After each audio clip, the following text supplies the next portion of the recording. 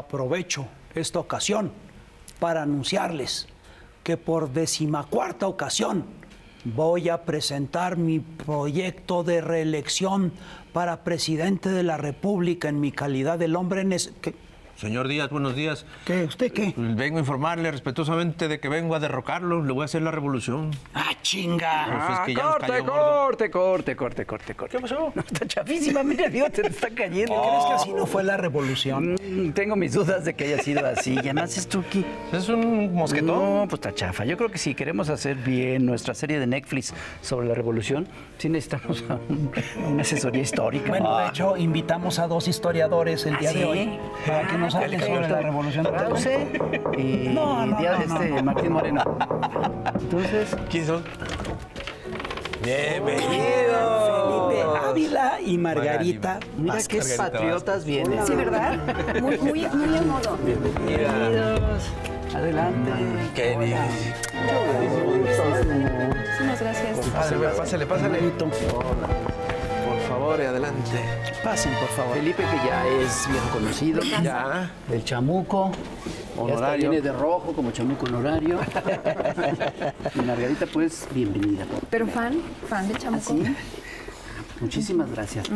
Oigan, pues estamos ya en estos ambientes revolucionarios. Vamos a celebrar, a conmemorar un aniversario más de la revolución, que fue una conmemoración que durante el neoliberalismo, durante la larga noche del neoliberalismo, se hizo de lado.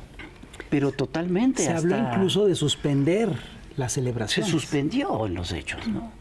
Primero se volvió una cosa de un desfile deportivo raro, ¿no? Sí, sí, sí.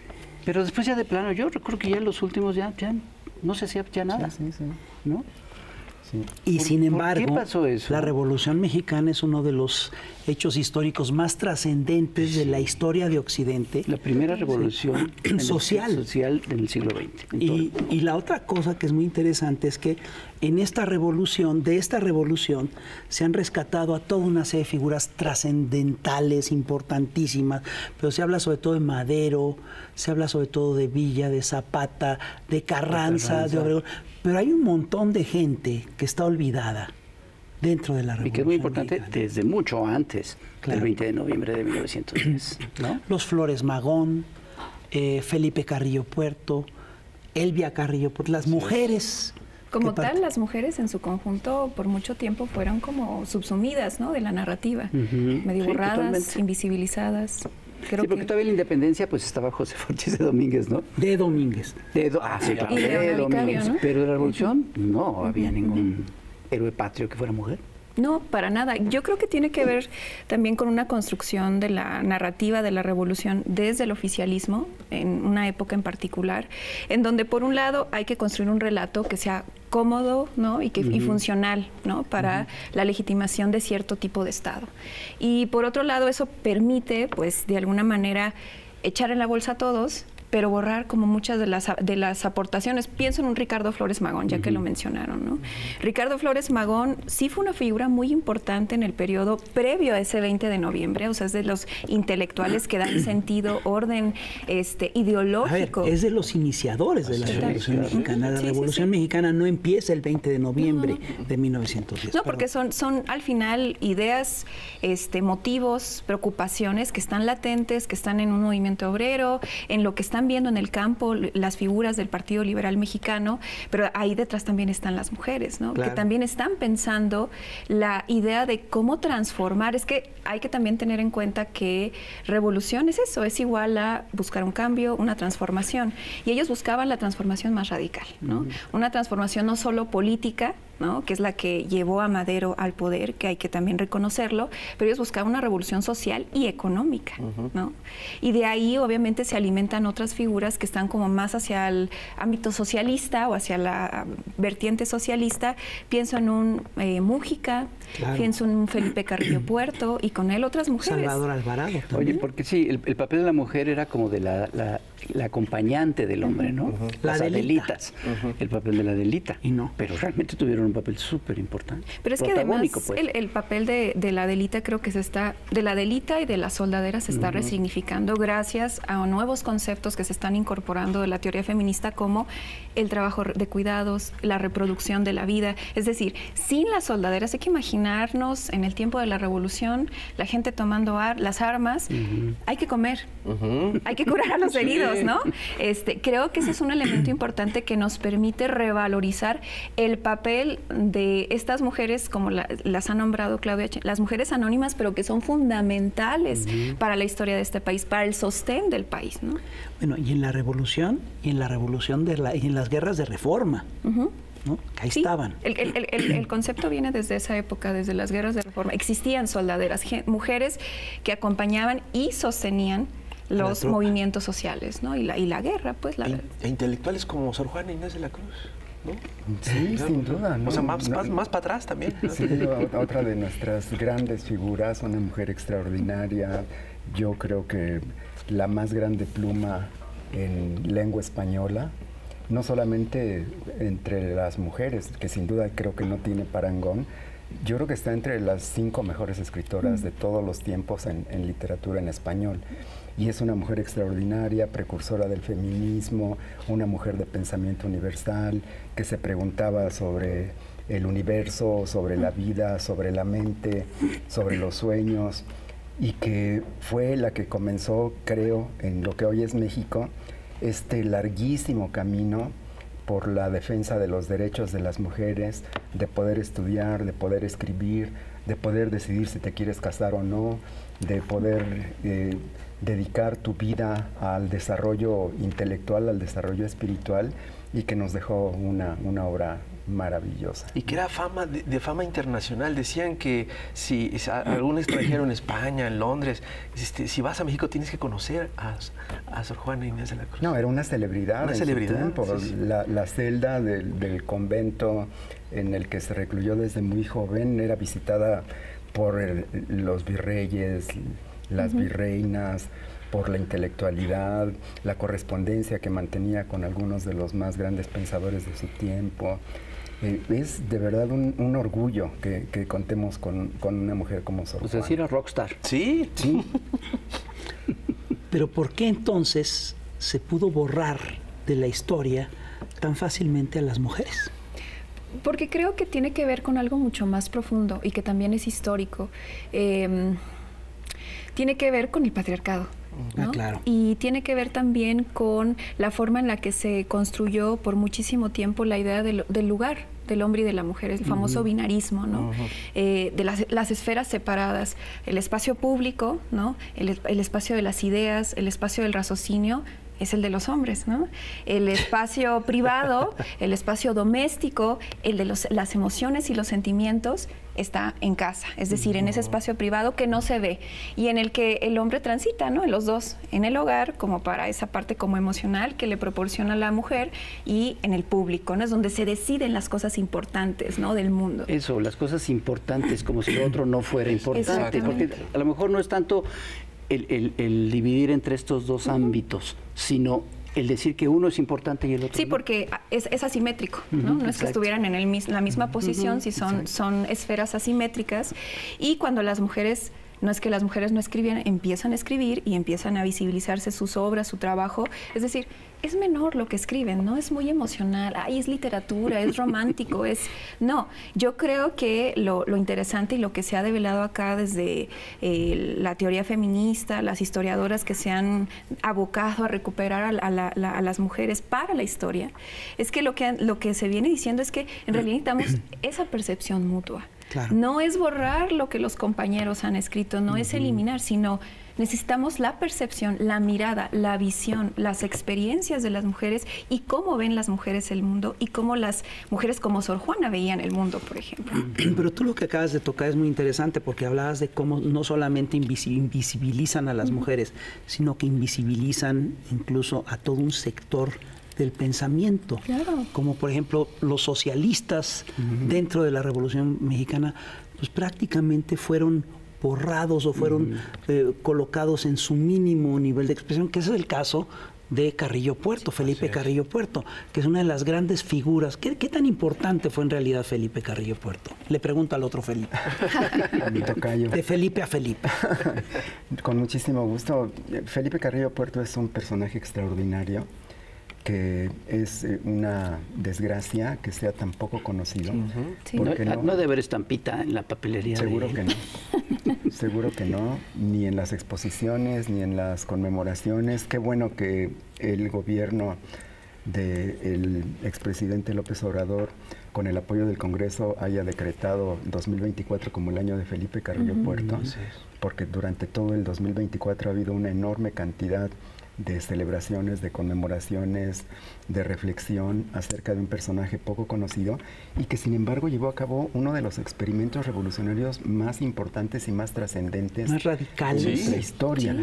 porque, como decía el FIS hace un momento, toda esta vertiente socialista, la más radical de nuestra historia, ha sido ignorada, ha sido hecha a un lado porque la palabra socialismo causa escosor, porque nosotros eh, venimos de una tradición de liberalismo radical que después fue subsumido con el concepto de nacionalismo revolucionario en donde cabía todo, donde trataron de meter con calzador Al, al, magonismo, a los liberales radicales, a personajes tan disímbolos de la revolución como eh, Salvador Alvarado, como eh, Felipe Ángeles. Pues como los mismos Zapata y, Carranza. o sea, todos, estaban en el mismo Todos estaban en el todos querían que estuvieran en el monumento a la revolución, que ahí estuvieran descansando sus restos.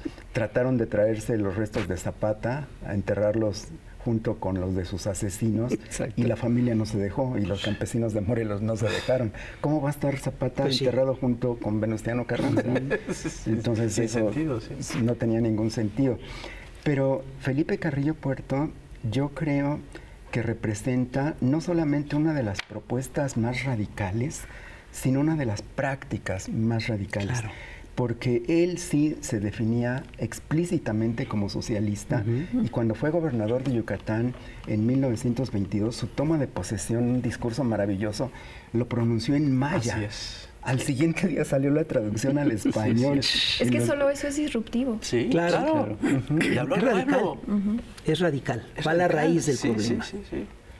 Y él definió que su gobierno era el primer gobierno socialista de América en 1922 porque lo que quería era pues que los medios de producción, la tierra, los telares, los ingenios, las haciendas estuvieran en manos de las y los trabajadores. Fue un gobierno en favor de los derechos de la mujer, sobre todo en favor de los derechos de las comunidades indígenas, en favor de las trabajadoras domésticas, en favor de las exoservidoras.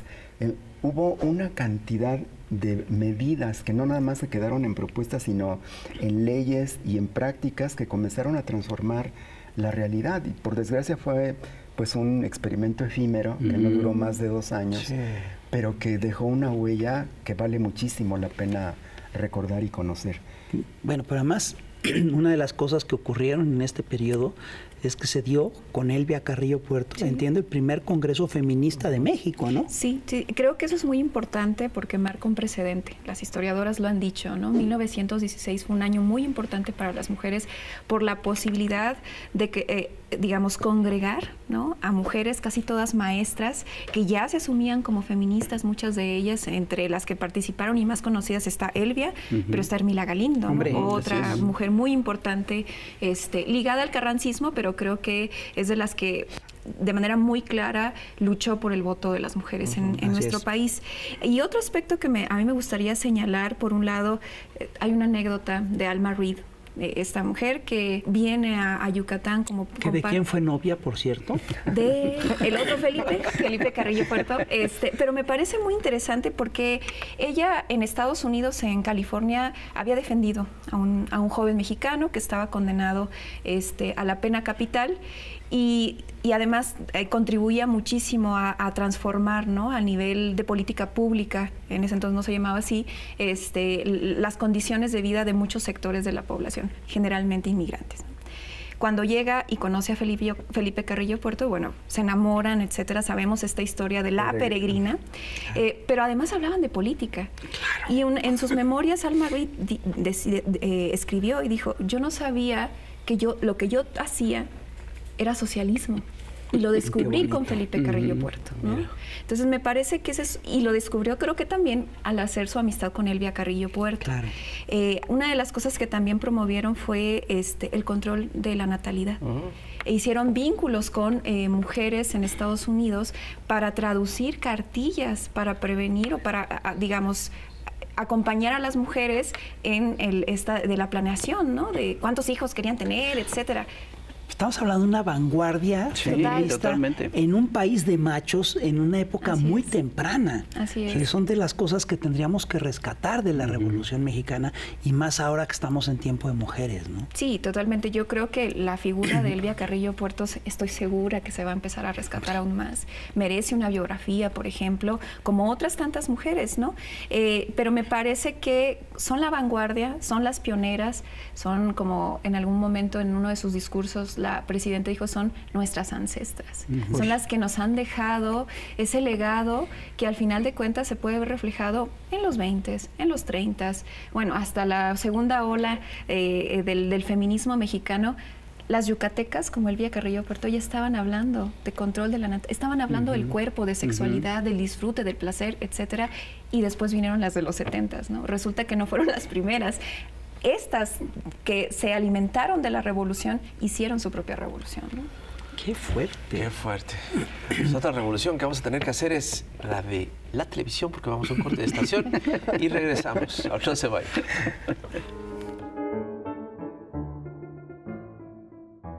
Regresamos aquí a Chamuco TV. Estamos muy contentos porque estamos platicando con Felipe Ávila y con Margarita Vázquez. Y estábamos hablando pues de estos personajes que no por alguna extraña razón, que no es tan extraña. No, no, es a propósito. Han sido olvidados un poquito en la revolución. Y, hablábamos de la importancia de México como una vanguardia en muchas cosas. Y lo hemos estado platicando en otros días con otro tema, con el tema de la reforma judicial, que ahora vamos a hacer vanguardia en un tema tan importante. Y ahora lo vemos recordando esto. México ha sido vanguardia en muchas cosas. Realmente la historia de México, como bien lo decía el observador en las mañaneras, no se cansaba de decirlo, ¿no? La cultura en México es lo que ha salvado este país es su cultura y su historia y el, ser vanguardia en muchas cosas, ¿no? La Revolución Mexicana en general lo fue así. Fue realmente un suceso muy importante, ¿no es cierto? Sin duda, y, esto, este papel de México como precursor de las luchas de la mayoría de la humanidad por mejores causas, por mejores condiciones de vida, por más libertades y por más derechos, pues es algo que nos viene desde los tiempos más antiguos. Eh, la independencia de México, por ejemplo, es la que tiene una propuesta eh, salvo los haitianos, que nos ganaron, y fue mucho más, pero los aplastaron. Sí. Pero el, el, programa no solamente de independencia política y de construcción de nuevas instituciones, sino de transformar la realidad social más avanzado, es el que se hace en México, con la primera insurgencia, con las ideas con las propuestas de Hidalgo y de Morelos, los sentimientos de la nación, la constitución de Apatzingán. Bueno, la abolición de la esclavitud, la abolición, del régimen de castas. Sí, los sentimientos de la nación. es impresionante ese, ese, documento. No hay ninguna otra revolución programática e ideológicamente que tenga una propuesta más radical y más completa que la que surge de la primera insurgencia mexicana y que después es más o menos retomada cuando se constituye la Primera República, que estamos cumpliendo los 200 años de esa república. Igualmente, la, reforma es la más avanzada por un siglo en América Latina. E, esa guerra civil de 58 a 61 que tuvimos aquí, en donde desaparece el Estado confesional y se crea un Estado laico y se le expropian los bienes a la principal terrateniente de la sociedad que era la iglesia y establecer la libertad de creencias y una serie de garantías y derechos muy avanzados. También el caso de la Reforma Mexicana es único en América Latina. Y la Revolución Mexicana, ¿qué decir de eso? Es la primera revolución social del siglo XX. La que lleva a nivel de ley los derechos sociales. Como derechos colectivos, sí. Así es. Sí, con una, con una constitución de avanzada para la época, ¿no? Creo, creo, que eso es un importante, pero quienes están detrás son estas figuras que se vieron este, empapados y, este, de las ideas del socialismo, ¿no? Sí, claro. Es que como cuando se diluye un poco, ¿no? En la narrativa, que figuras como, no sé, pienso en Francisco Mújica, ¿no? Eh, eran hombres que leían a los Magón, ¿no? Hay una trayectoria intelectual de ideas que deviene de estas posiciones mucho más radicales y que están pensando no abolir el Estado, ¿no? en su fase como anarquista, sino más bien transformar desde el Estado a la sociedad, ¿no? Para, digamos, para el bien común.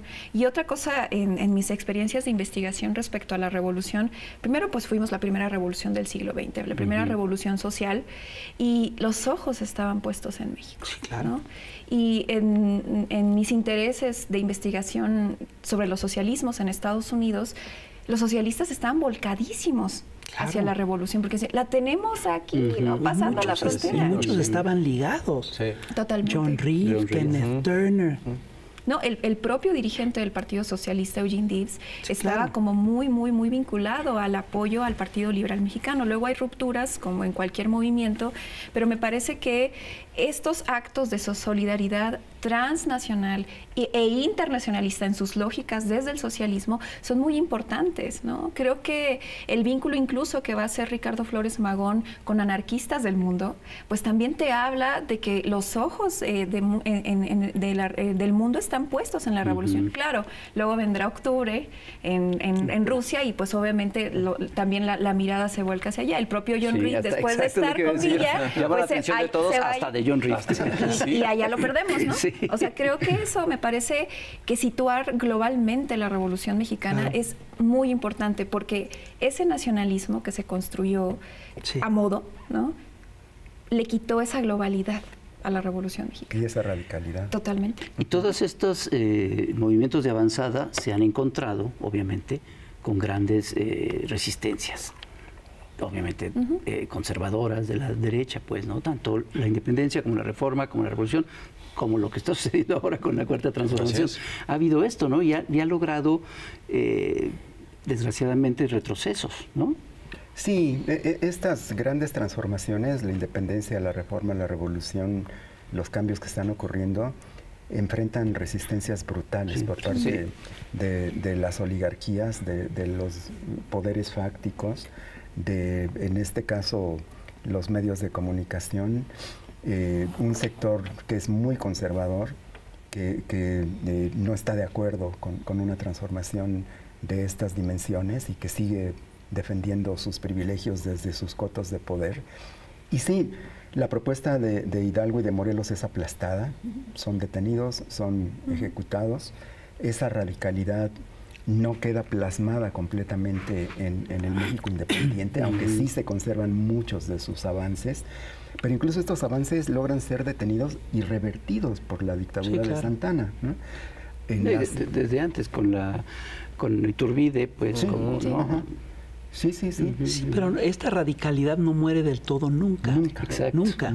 Porque eh, tú revisas, por ejemplo, lo que fue el discurso de toma de posesión de Vicente Guerrero y tú dices, híjole, ¿cuándo fue escrito esto? es muy impresionante. Te habla de una república fundada en el trabajo.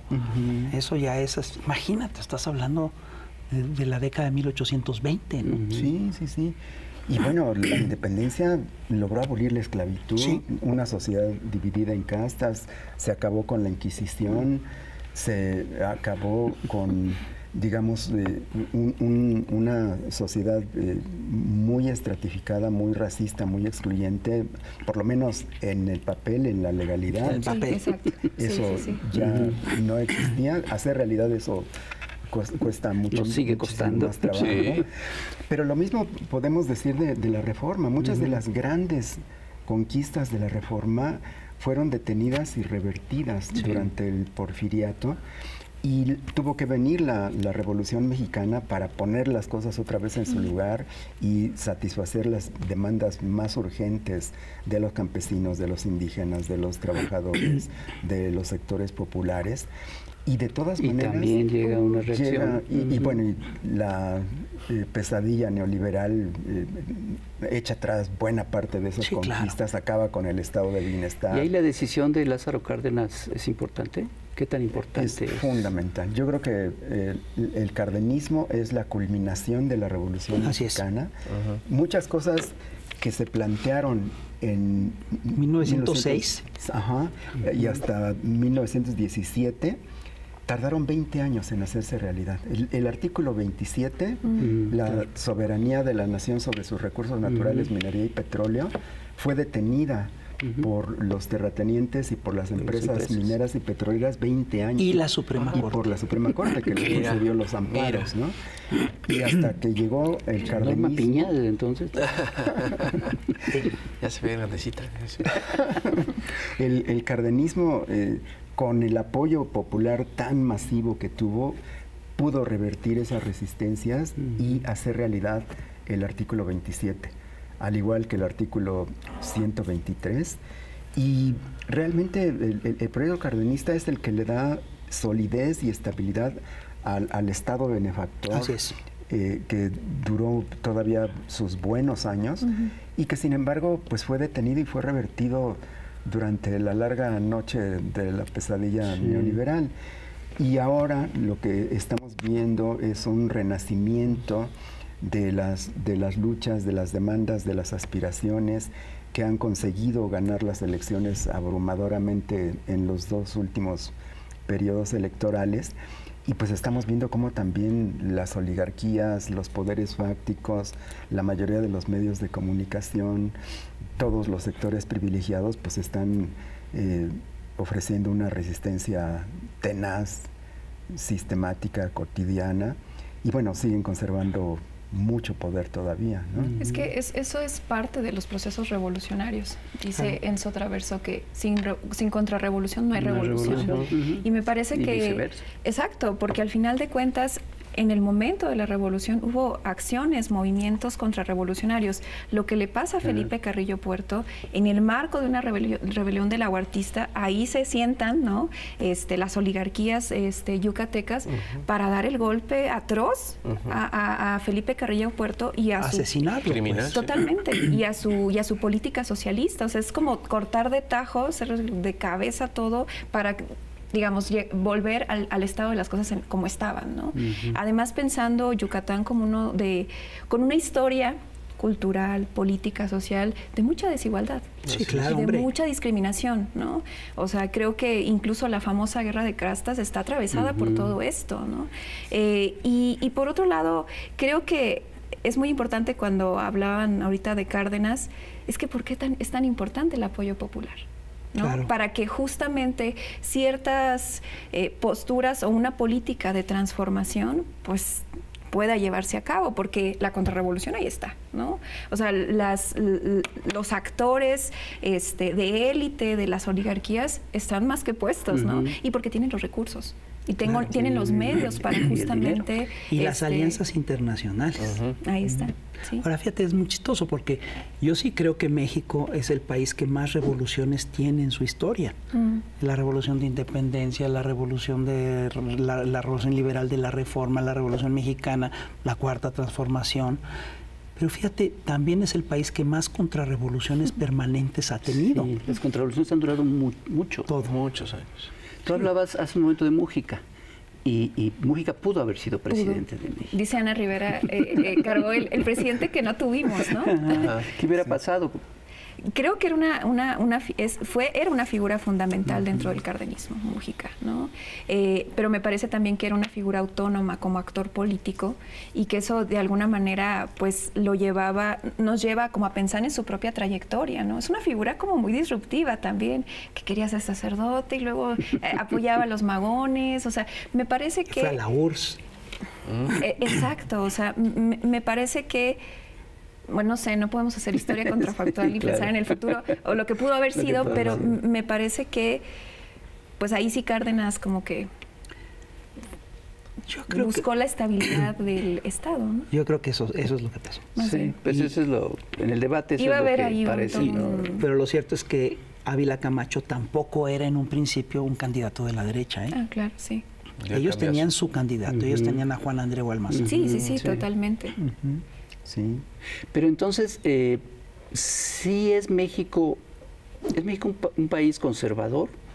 Muchos, yo recuerdo de hace muchos años escuchar eso, que se decía, es que México es muy conservador.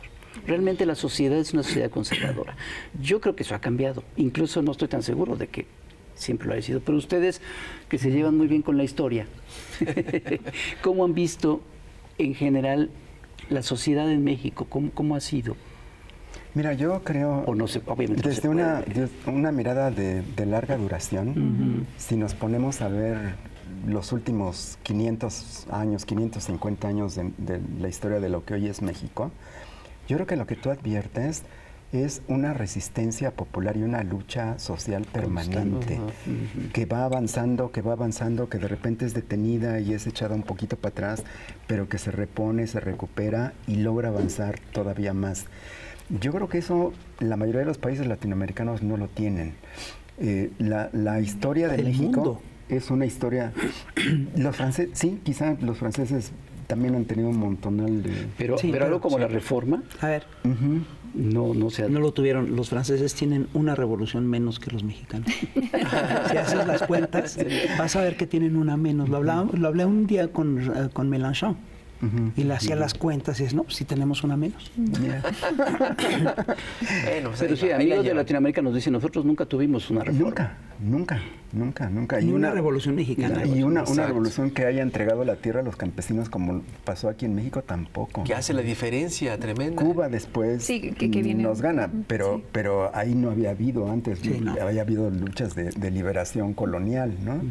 Pero revoluciones sociales como las mexicanas, yo creo que sí es casi un caso único. Y esta separación Estado-Iglesia tan eh, clara, tampoco la hay en, en- en muchos países. En otros países. Sí, y es que además la, la- la separación esta de iglesia, como también marcó la pauta para también la lucha de otros sectores, ¿no? Pienso en- las mujeres, ¿no? Por O sea, creo que ese es un elemento muy importante en donde las mujeres hasta luchaban por el divorcio, por, por administrar sus bienes, ¿no? O sea, podemos hacer una lista de lo que no tenían las mujeres o lo que no teníamos las mujeres históricamente. Y creo que la gran lucha del de la segunda mitad del siglo XX hasta lo que vamos a la fecha es la el derecho de las mujeres a decidir sobre su propio cuerpo y lo seguimos viendo. Podemos decir sí puede haber sectores de la sociedad muy conservadores porque los hay, ¿no? En donde dicen es- en donde de alguna manera están como más anclados a estas luchas pro vida, que, que de vida Sí. que tienen, en fin, podemos cuestionarlo mucho, pero al final digamos, es parte de una lucha de las mujeres histórica, ¿no? La- la- la- el deseo por despenalizar el aborto, etcétera. Lo vimos en Chiapas, lo vimos en San Luis. Potosí, las discusiones que se están teniendo en la Ciudad de México, creo que pues marcan, ¿no? Ah, también es una especie de como de, termo- de- de- de termómetro, ¿no? Así es. De cómo medir esta cosa de qué tan conservadora es la sociedad mexicana. ¿no? Es que además México es un país enorme, son Porque, muchos. Fíjate, además, Con una historia compleja. una historia pero- compleja, pues sí. Eh, hace 30 años quizá, eh, a quien propusiera eh, o que eh, se atreviera a decir que la izquierda iba a ganar las elecciones en nuestro país, en los 80s, todavía en los 90s, Sí, nadie le creía. era imposible. Y ve todo lo que hemos avanzado. Que hace No, en el 20 años 2012. alguien dijera, va a llegar una mujer a la presidencia de México. No, México es un país machista, Eh, jamás lo van a permitir. Bueno, ¿cómo estamos ahorita? No está preparado, decían. Y ve no Estados Unidos, por ejemplo. Estados Unidos todavía no puede tener una mujer presidenta. Es, es una cosa así que no, Y- no puedes creerlo. Y, con quién han perdido las dos candidatas. Sí, hombre. además. Es lo más vergonzoso que, que puede haber, ¿no? Ahí sí que los sectores conservadores en Estados Unidos operan. son tan poderosos, con tantos recursos, que ven, no, ha- no se ha podido. Y, y además una mujer afro, afroamericana, ¿no? Eh, y no pueden. Y- Porque ahí él lo atraviesa, por un lado, la misoginia, el machismo y el racismo. Sí, claro. Sí. O sea, porque eh, ella representa eso, es una mujer de color, ¿no? O sea, ese es un... Pero Hillary no lo era y tampoco... Pero fíjate, es, es chistoso porque yo sí creo que hay un sector muy conservador, hay sectores Sí. muy Sí, sí, sí, conservadores sí. dentro de la sociedad mexicana, pero lo que sí tenemos aquí que no tienen en muchos o en muchas otras naciones es que sí tenemos una historia de tradición, de luchas que es que, que va muy a fondo, ¿no? Que es que está muy arraigada en vastos sectores de la población. Y eso es lo que es la novedad, eso es la extrañeza, es lo raro, la, Eso la- es lo que marca la, la diferencia. Y también el sistema electoral que tiene Estados Unidos pues, no es No muy ayuda. democrático, que digamos. o sea, es como muy de élites todavía. moderno. Hija, exactamente. Pero bueno, yo voto por otro corte comercial porque te- vamos a ver al trovador. Y, y tú como los ministros, ¿no? Yo con un voto, voto. es el único voto y yo voto por El único que cuenta. Ahorita regresamos. Y además al trovador. El trovador. Bueno. Voy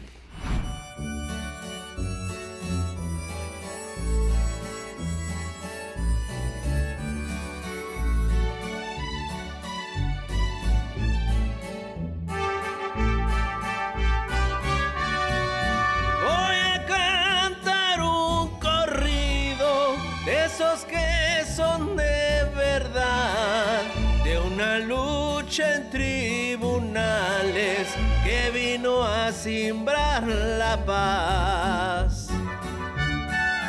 En el 5 de noviembre, ocho ministros culeros quisieron tumbar las leyes con argumentos groseros.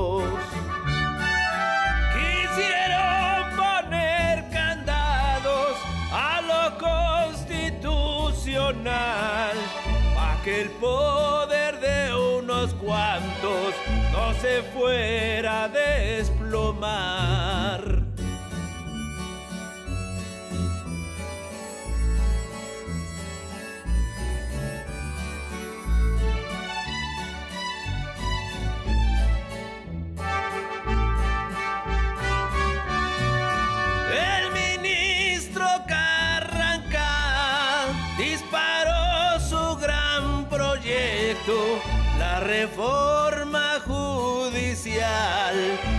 Sirve y yo soy perfecto.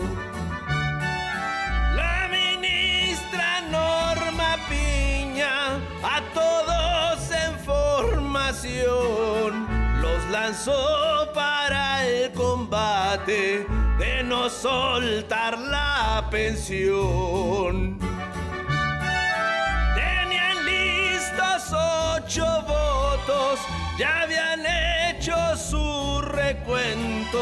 Cuando en plena votación, Dayan dijo: Yo no le entro.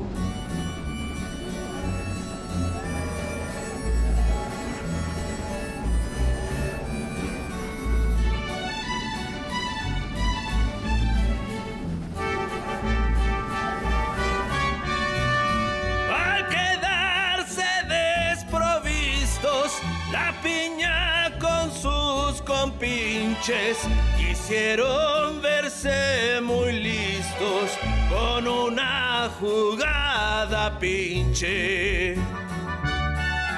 No son ocho sino seis, así dijo Piña Norma, los sufragios necesarios para tumbar la reforma.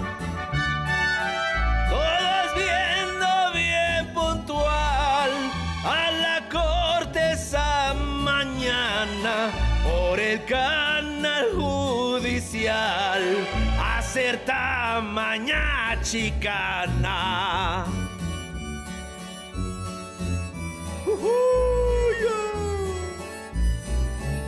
Esa piña ya este bache.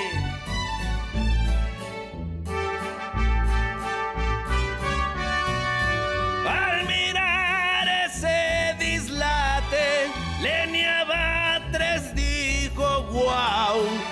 Otros jueces se rajaron y la enmienda dijo chao. Ocho jueces muy a frases con lenguaje muy mamey y argumentos muy tramposos quisieron tumbar la ley.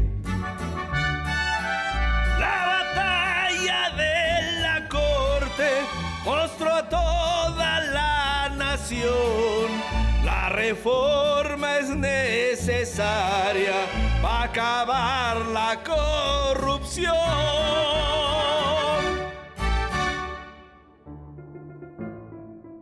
Y seguimos aquí en Chamuco TV hablando de- sobre la Revolución Mexicana con dos grandes historiadores, Margarita Vázquez y Felipe Ávila.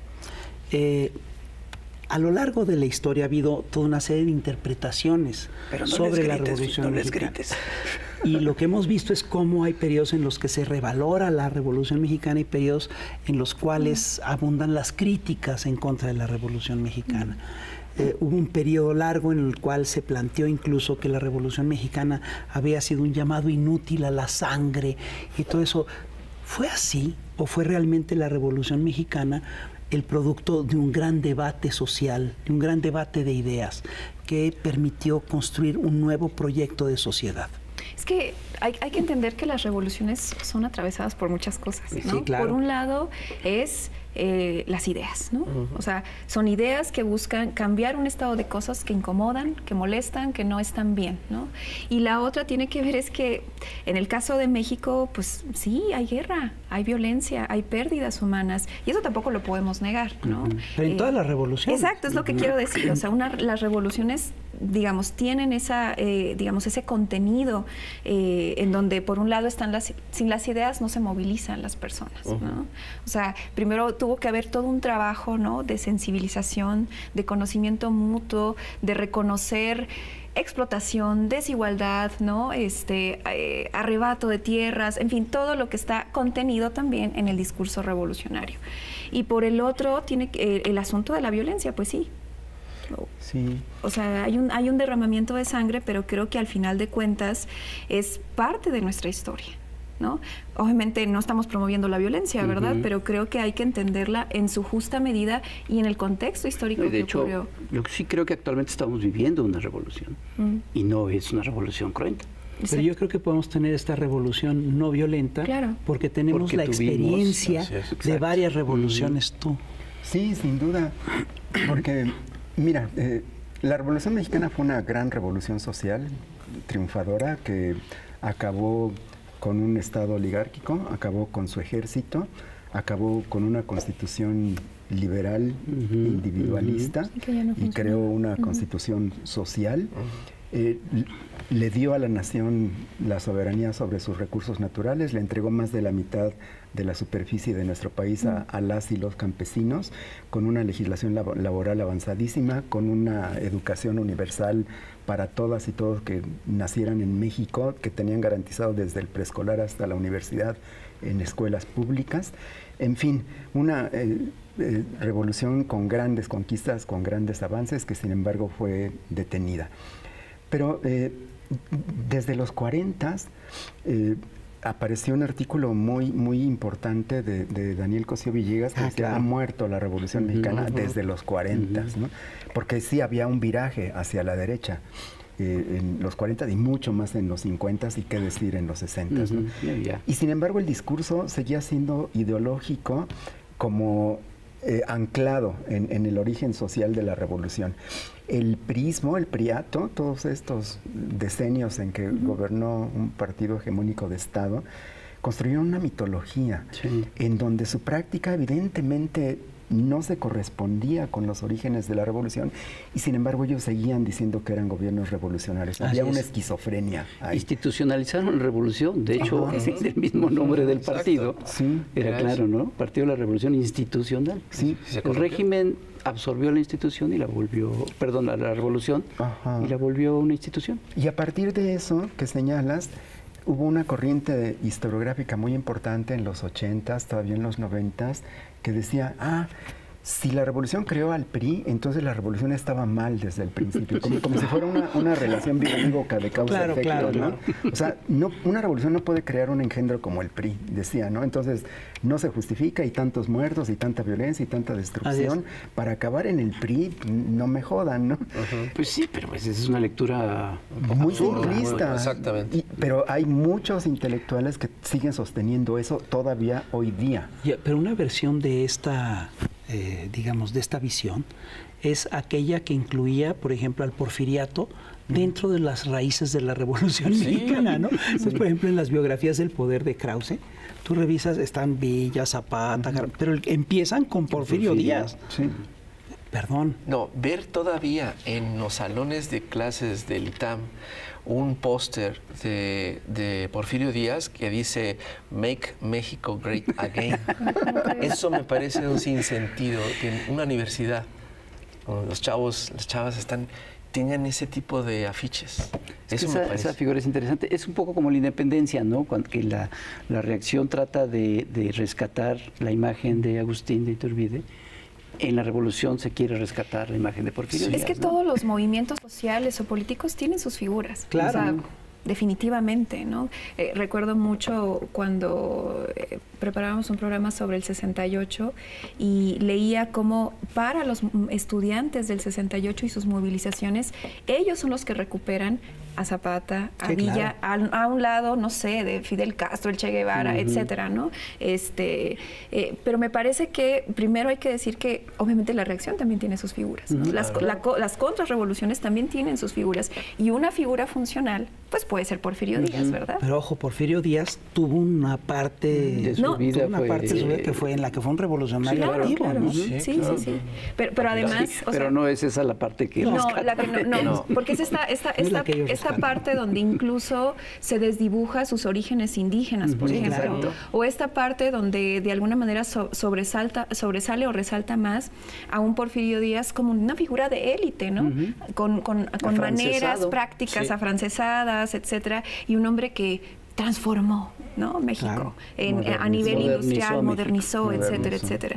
Y que creo que de alguna manera pues les es funcional, ¿no? Bueno, haya habido hasta movimientos de, para repatriar los restos de, de Ah, sí, Porfirio sí, Díaz, sí. ¿no? Claro, Porfirio Díaz modernizó a México y luego llegó la bola, Y les hizo una bola todo, de bárbaros, ¿no? Ajá, Sí. Echarlo todo a perder. También que estábamos.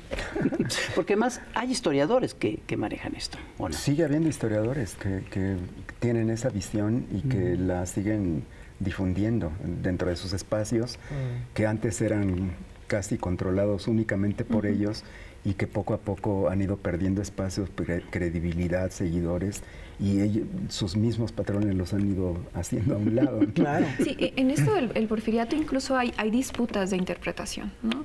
Eh, hay una que yo cuento en, en- en mi libro, en la biografía de Ethel Duffy Turner, eh, en donde se, se traduce por primera vez México Bárbaro de John Sí, Kenneth claro. Turner. Y entonces este eh, Daniel Cosío Villegas dice, no, John Kenneth Turner no, es, no existió. O sea, está muy mal escrito ese libro, está este, No tuvo ninguna influencia. Era un mexicano que mal sabía escribir inglés, ¿no? Una cosa así. Entonces vienen ciertas figuras como este, la propia Ethel Duffy Turner, su hija, Nicolás Tebernal, este, y, y otras figuras del mundo historiográfico, por así decirlo, Chávez Orozco, ¿no? A defender a la figura de John Kenneth Turner.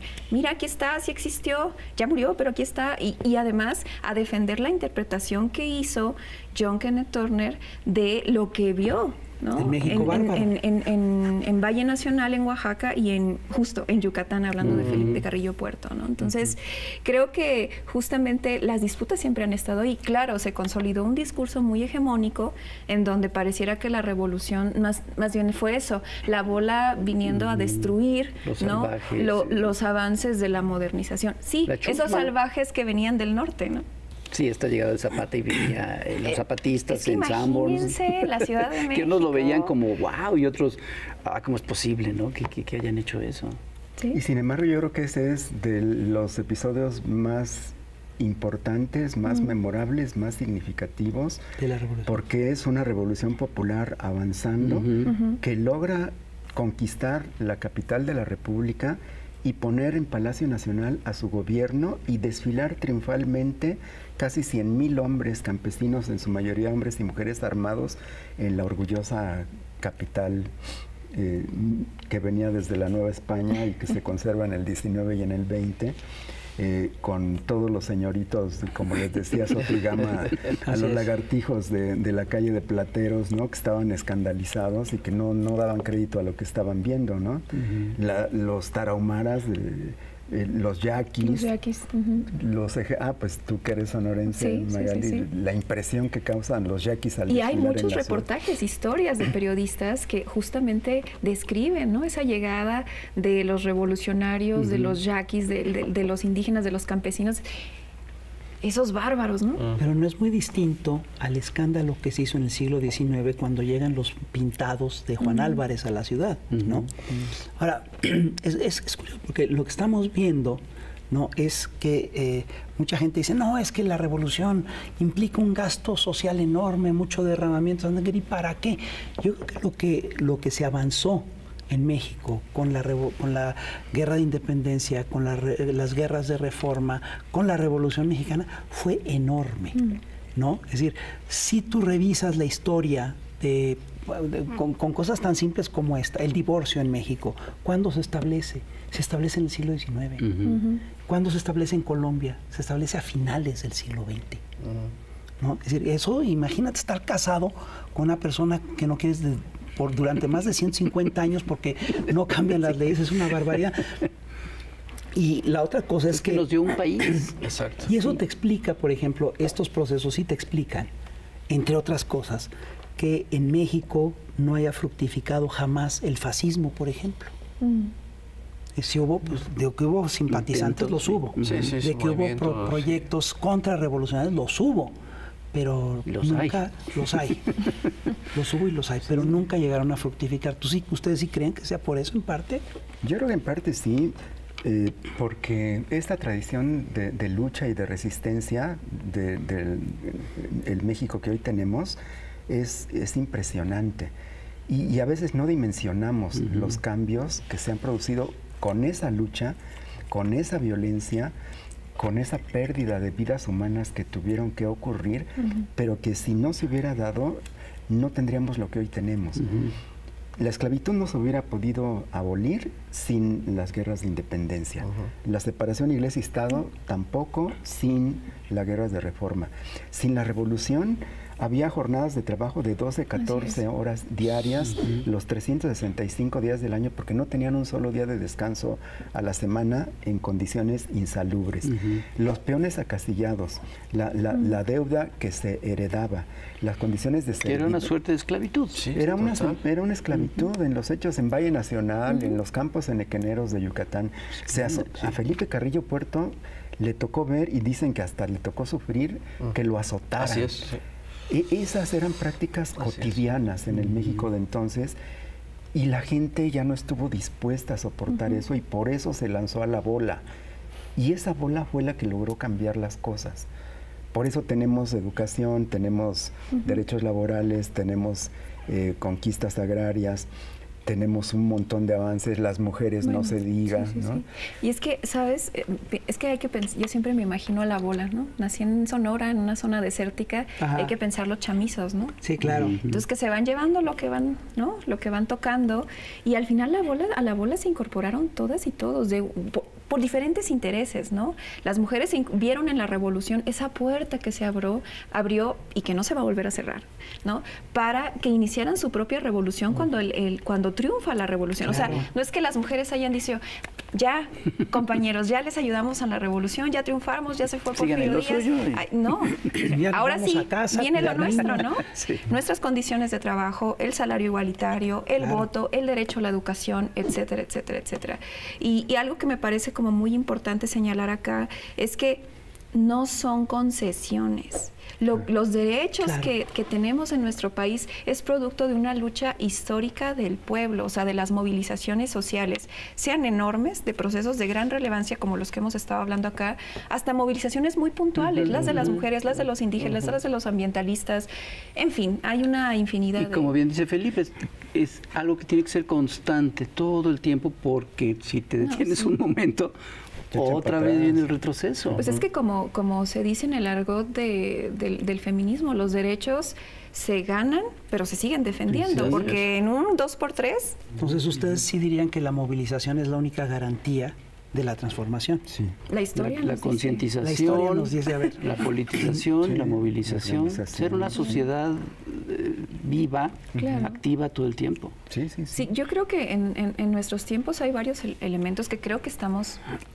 sintiendo, ¿no? Eh, eh, sentipensando, por así decirlo, este, para ponernos muy feministas de coloniales. Pero me parece que este, hay, hay por un lado hay una politización y es buena la politización. Claro, hombre. ¿no? Porque eso también está, está en la base del pensamiento crítico. Ojalá llegue un día Claudio X González. la politización. pero creo que eso es un elemento muy importante. O sea, ustedes entraron a YouTube a ver la sesión de la Suprema Corte de Justicia. Mucha gente estaba atenta. Y qué bueno. Independientemente de si se está de acuerdo o no, más allá de eso, la gente quiere enterarse directamente. ¿Por qué es importante la mañanera? Por eso. O sea, pues de decir, ah, es que dura mucho. No, no, ya no, no, no dura mucho. Sino más bien la gente quiere saber este, qué está pasando en el país desde la voz directa de quien está administrando el Estado. hay que involucrarse en las decisiones, y creo que, sucede en este país. Y creo que la sociedad mexicana está más involucrada, ¿no? Ya no es como de, ay, vi las noticias esto. ¿No? Fíjate que, qué pasó, ¿no? En las comidas familiares, ¿no? Ahora se discute sobre las políticas mm, públicas. Y creo que ese es un gran eh, logro que hemos tenido eh, eh, como sociedad a través mm. de justamente estas administraciones, ¿no? Creo que la politización, el pensamiento crítico, el que cuestionemos, es fundamental, ¿no? Y por eso esta reacción que ha tratado de de enfrentarse pues a lo que está sucediendo, tú decías al principio, ¿no? Con los medios de comunicación, con los poderes fácticos, ha sido infructuosa. En buena medida ha sido infructuosa y no han podido, no han podido con la concientización y la politización de la mayoría de la gente. Porque van contra el rumbo de la historia, contra la rueda de la historia, porque no la pueden detener. Pues sí, pero lo que nosotros no podemos detener es... el término del programa, que ya, ya llegó la guillotina, ya nos vamos, mi querido Felipe Ávila. Muchas gracias. Muchas gracias. Padrísimo, Padrísimo programa. ya lo saben, señores y señores, la revolución sigue. cuídense mucho, nos vemos a la próxima. Ya lo saben, cuídense. Bye. Chao, chao.